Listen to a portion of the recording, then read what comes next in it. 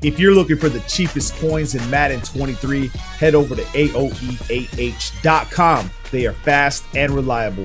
And make sure to use code WOLFE for 3% off. Link is in the description. In today's video, I'm going to show you guys a classic play that people love to use versus man defense in Madden 23. Ever since the update with elite receivers and how they leave uh, man defensive players behind, if your receiver's elite, he's going against someone that's not elite, he's probably going to cook them most of the time.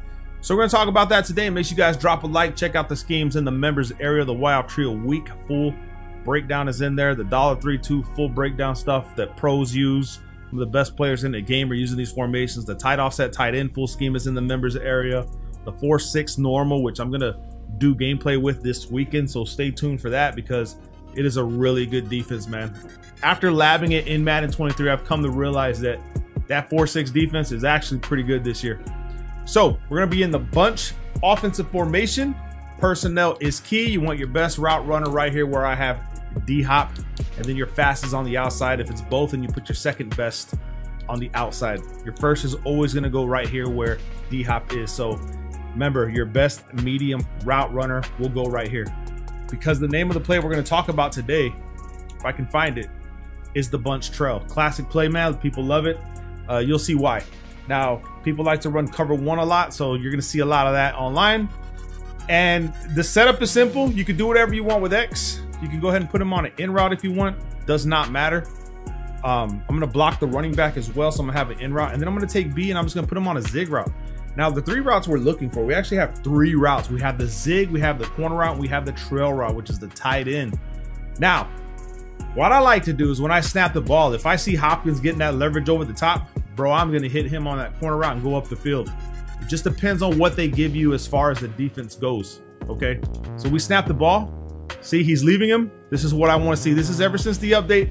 This is what's happened in Madden now. Okay. These elite receivers are going to cook man defense. Sometimes the man defense does stick though. It's, it's like RNG, right? It's it's like a, a lottery. So we do the same thing, in route, block the running back, zig route. I'm gonna pay attention. If D-Hop gets above the guy that's on him on man defense, and I'm gonna hit him. He doesn't, he stays back. I'm gonna look at this one. If not, then I'm gonna hit my trail route. I didn't have time there, but let me show you what was happening. Let me show you the progression, okay? So you guys can see it. The pass rush is just insane. It's just something that happens in the game now. Okay, so first read is I'm gonna, once he snaps the ball, if this guy's backing up early, then he's over the top coverage. I know, be careful. The corner route's not gonna get open. See, so right out at the snap of the ball, I'm looking at his feet, okay? Backpedaling. Next thing I do is I come over here. Is my zig route going to cook? No, they're playing outside coverage too on this man defense. So what does this leave me with? This leaves me with my tight end going over the top. He's already cooking this guy that's on him. Okay, so right here, it's just I didn't have the time, but he would have been wide open over here by himself. So you see the progression with this play. Zig, block the running back like this. D-Hop gets over it. He doesn't. Boom. Again, same same exact thing as the last one. I come over here to my tight end and all else fails, you try to roll out, get some yards. Just depends on where the user is at as well. But I'm giving you guys the optimal plays that pros like to use, man. These are some of the best ones that you can be using. Right here, we know it's D-Hop all by himself over here because the guy's actually sitting low. And that's what you want to see. You want to look at that. That's very important that you look at that part of, of the play because that's your actual money play. Block the running back, like I said, you could do, the reason I put X on the in route is because it forces the three rec and cover one to stay low, and then my tight end can get above him.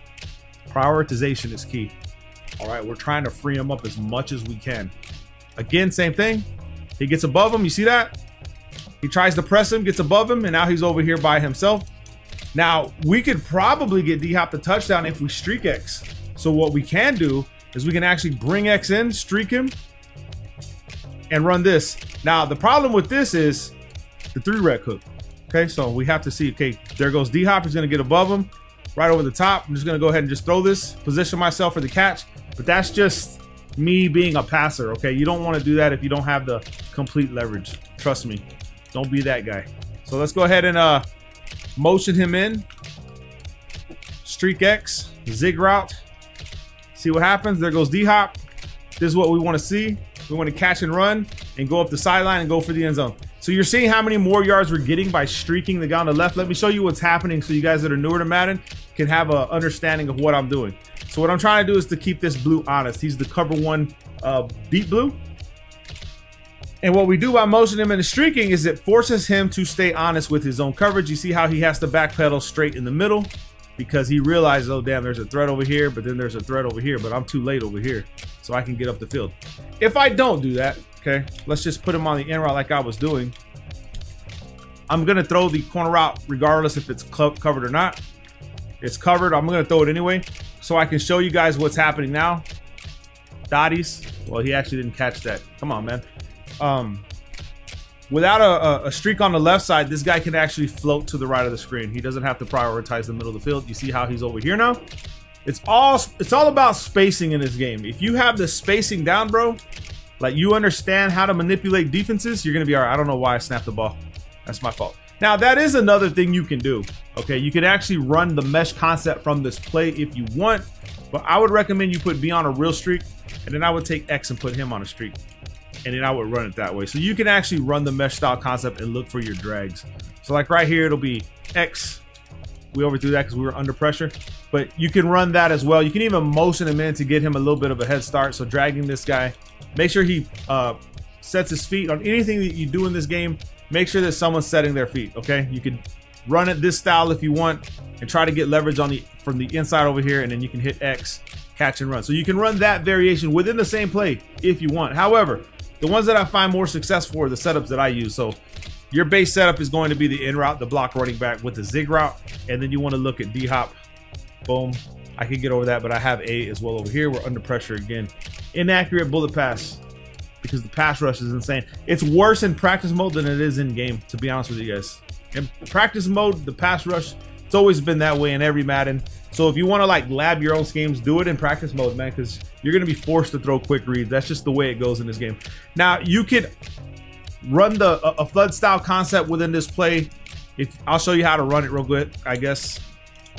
Assuming they're running cover three. Cover three is tricky because you have to motion out the outside receiver. Okay, it has he has to come out and go on a streak, and then you want to take A and put him on a flat. Okay, so this is how you really want to run it. And the reason for that is, is the outside third. Let me show you what I mean. Let me bring him back and keep him on the street. Now, if my memory serves me correct, in cover three with this newer Madden that outside third doesn't have to jump the streak. The middle third will.